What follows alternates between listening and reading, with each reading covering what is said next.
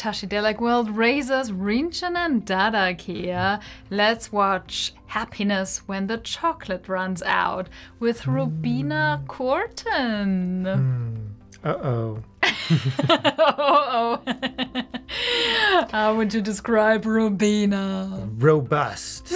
and very, yeah, energetic and just ready to slap you in the face. yeah, with her wisdom. Yeah, perfect. Um, she's a fantastic Tibetan Buddhist nun. Mm. Uh, I met her a few times. Um, and I listened to hours and hours and hours of talks. I might have actually listened to this talk a while back too. Mm. Um, yeah, she's uh, straightforward to the point, very fast in speaking. Try to, Try to stay up. exactly. um, but most importantly, enjoy and leave some happy emojis in the comment section because this um, is a talk uh, from the Happiness and Its Cause conference, mm-hmm. which is uh, very beautiful. Yeah, need more of that in the world. So exactly. give it a like. Well, it's been very nice to hear people talking, Gretchen and Robert, and things that Robert was saying, very pertinent to what I want to say, actually. So the terms he used, you know, positive and negative emotions, Buddha completely would agree. This is exactly how Buddha talks. and what's interesting also is His Holiness referred yesterday to these Indians, you know. And I remember hearing him recently say it was these Indians, these Hindus actually, these amazing think masters, thinkers, scientific, mm. you know, thinkers who more than 3,000 years ago were the ones who really investigate, we began this extraordinary investigation into the nature of self, you know. Mm-hmm.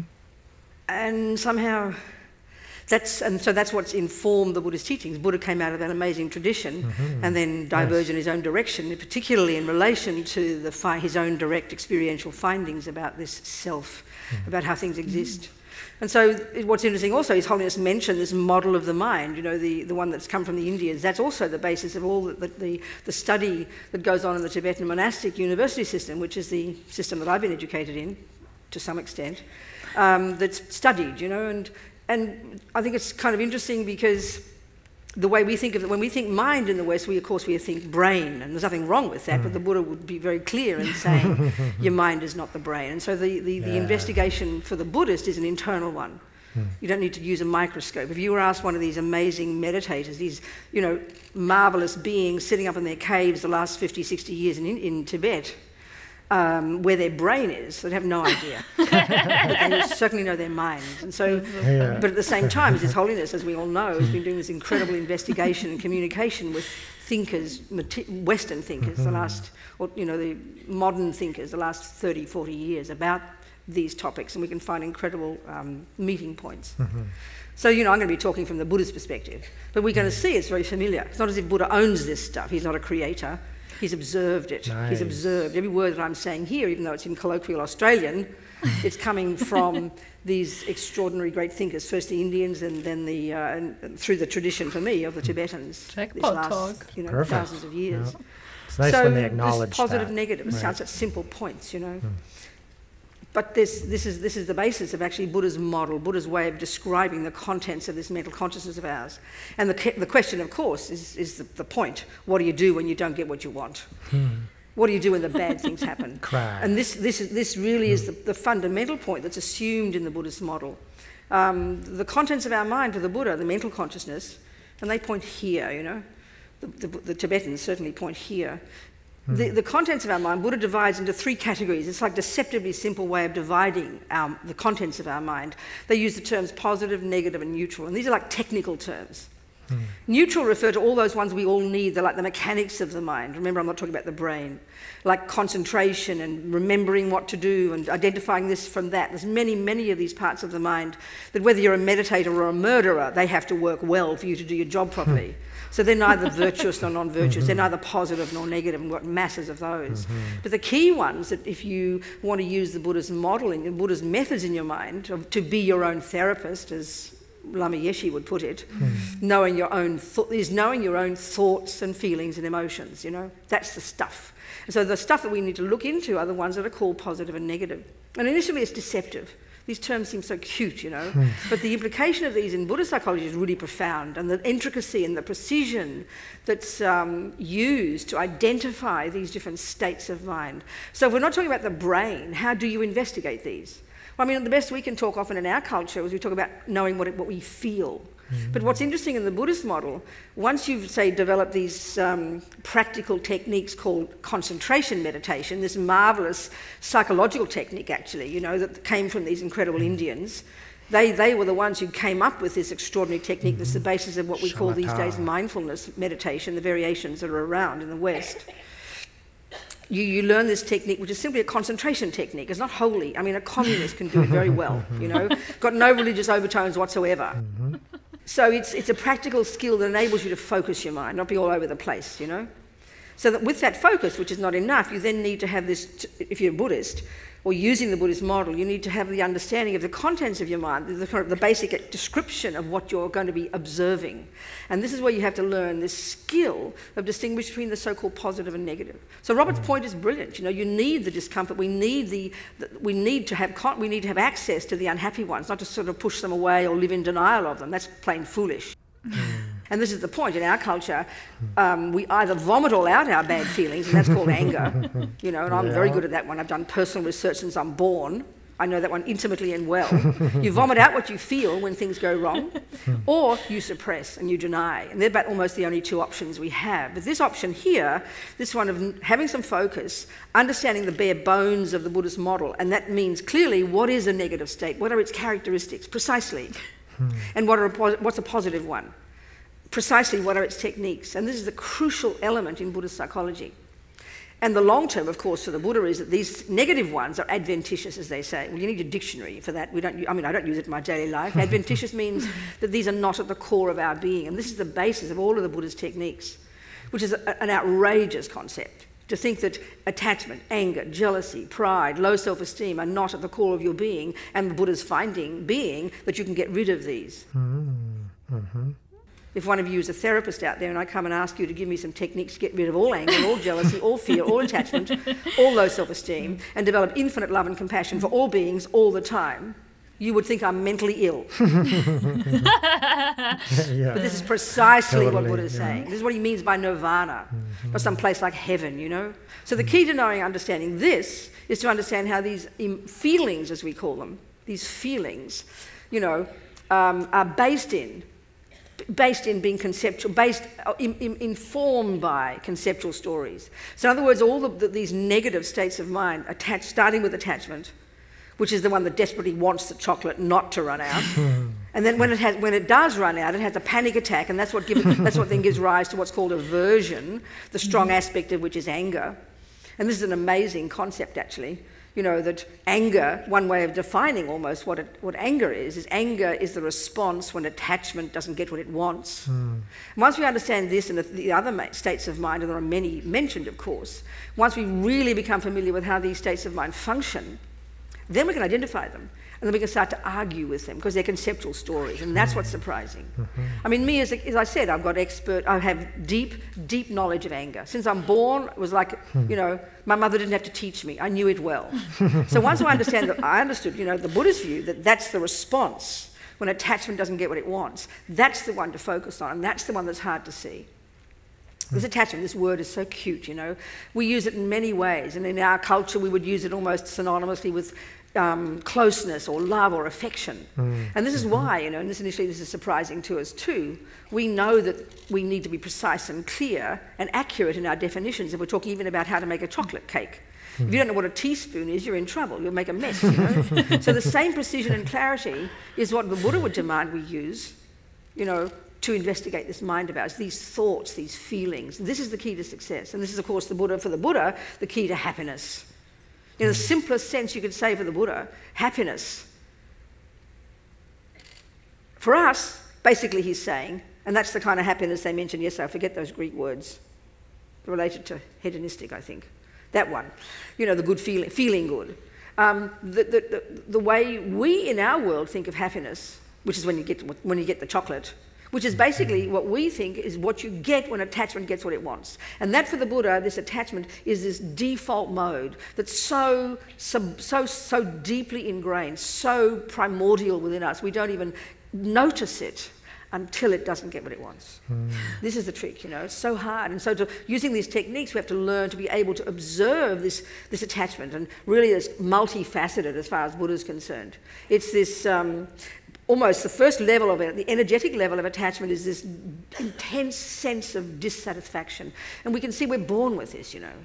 Deeply, mm. a deep feeling, an assumption, which we think is the absolute truth that I'm not enough, that I don't have enough. No matter what I get, it's never enough. And it's just this constant feeling. Therefore, naturally, if there's dissatisfaction, the next level of attachment is you hanker after something.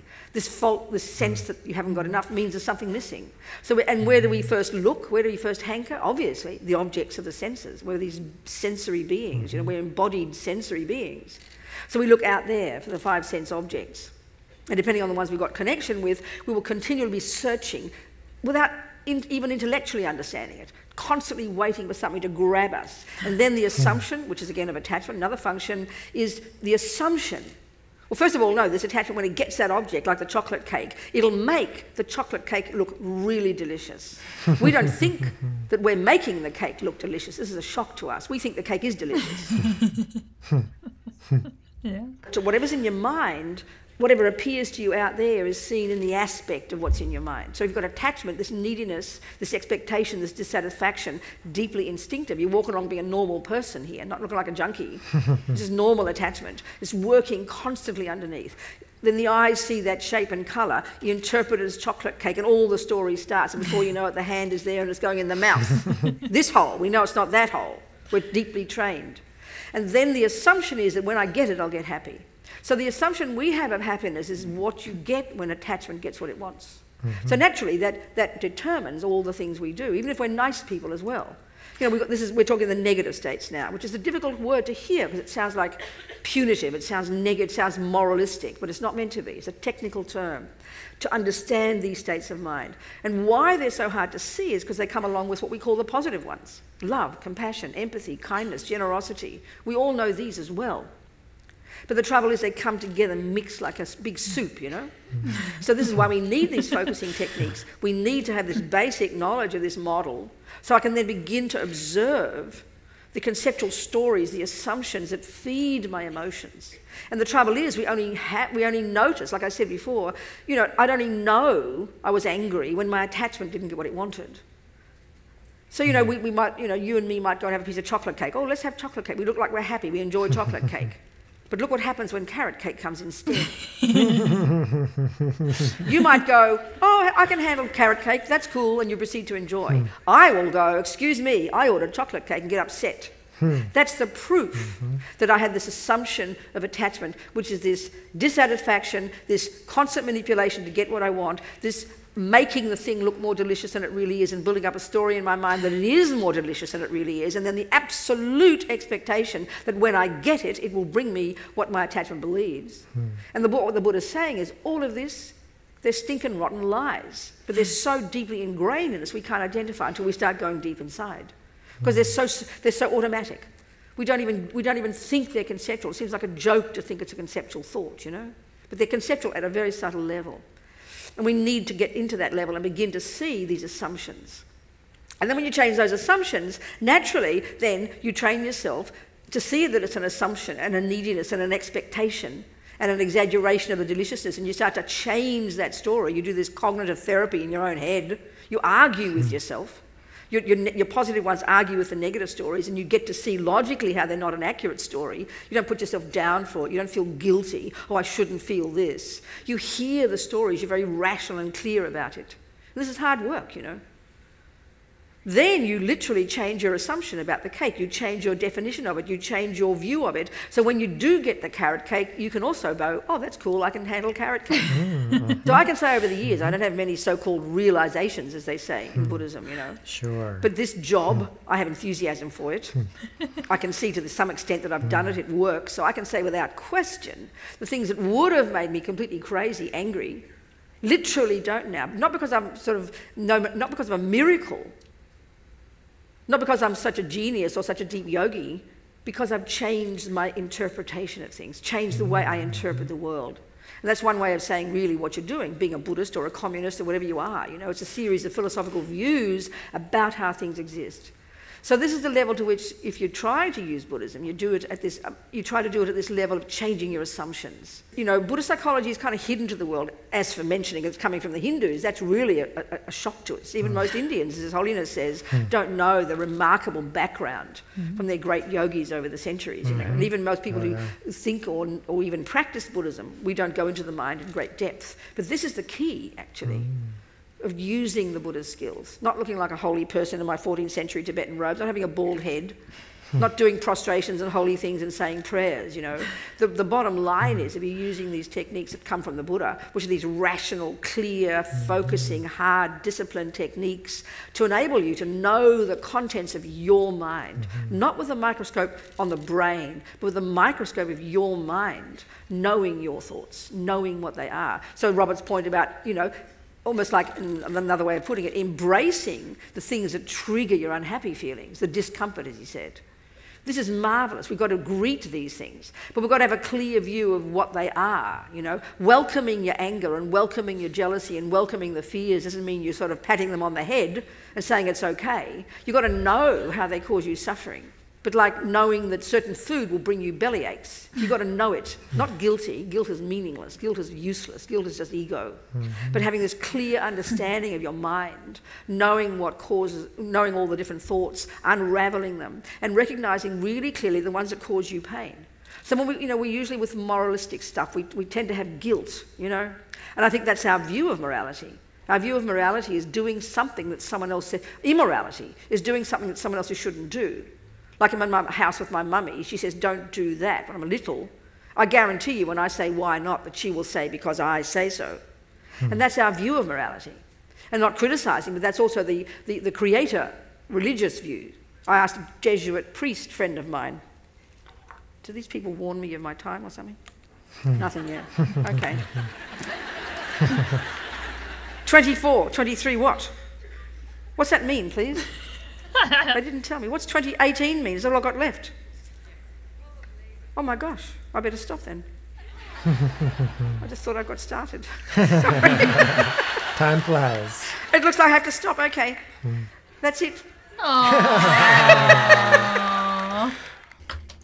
Robina. Bravo. What did you want to talk about at the end? She was just going to tell a story about her Jesuit priest. Oh, um, yeah, yeah. Oh, oh the friend. creator. Oh, yeah, yeah, yeah, yeah. Oh, well.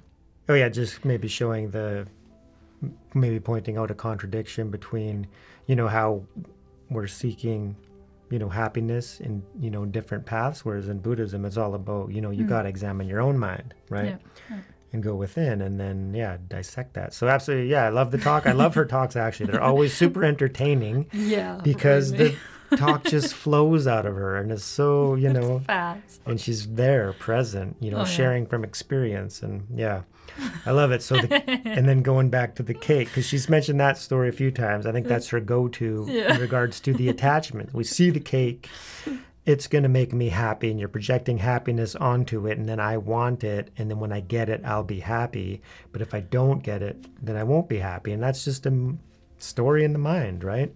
Yeah. so really and I think that's really the you know the true ultimate value of the Buddha's teachings is that even he put the teachings above himself right? It's the dharma and that it's about the mind right so I love how she touched on that is that you can do prostrations, you can go to the temple, you can, you know, meditate, you can do pilgrimage, you can do all of these things, but ultimately it's the mind that you got to examine and look into and then see that yeah, those lower levels, the lower states of anger, jealousy, attachment, you know, spite, misery, and all of that it's you know, it's a product of our conditioned mind and mm-hmm. it can be, you know, purified and let go of because ultimately you know there's a buddha nature there's a clear light mind there's a pure beingness that's free of all defilements and that's our true nature mm-hmm. that's the buddha nature and i love how she also touched on it the buddha was a Hindu, right? He had Oh. access to all those. What are the chances that I click on a video where she actually starts off with that? Yeah, that's amazing because because to be honest, that's kind of rare in my mind, you know, amongst well, I guess the teachers, the true teachers who know the teachings, you know, they all understand that, but amongst like Buddhist communities of just like lay practitioners, not really diving into it as deep as maybe some of the teachers have, you know, there is that misconception. And then they don't want to acknowledge that Buddhism mm. technically is a part of Sanatan Dharma, right? Mm. That's where its roots are because the teachings are so incredibly similar, especially when you get into Oh. the Upanishads and what the Buddha taught are pretty similar. The only real difference in my mind that I see is just the use of the names, mm. right? Whereas the Buddha is not using Brahman so much. He's using, you know, consciousness, mind, right? The substance of everything. So, yeah, mm. fascinating. So I love that, see what, seeing the similarities, you know, in the closeness of the truth, right? There's one absolute ultimate truth, and then there's many paths. Buddhism is, of course, a valid path, but also other paths are valid as well. Yeah. It's all about seeking the truth within. Can you touch on uh, mind training that she kept mentioning Yeah, and explain it briefly yeah. So mind training is basically about you know analyzing the mind and actually focusing and seeing how it works okay how does my mind think? How does it respond to a trigger? When somebody says this what is pops in my mind? When i see somebody like that you know what arises? Is it jealousy and this and that?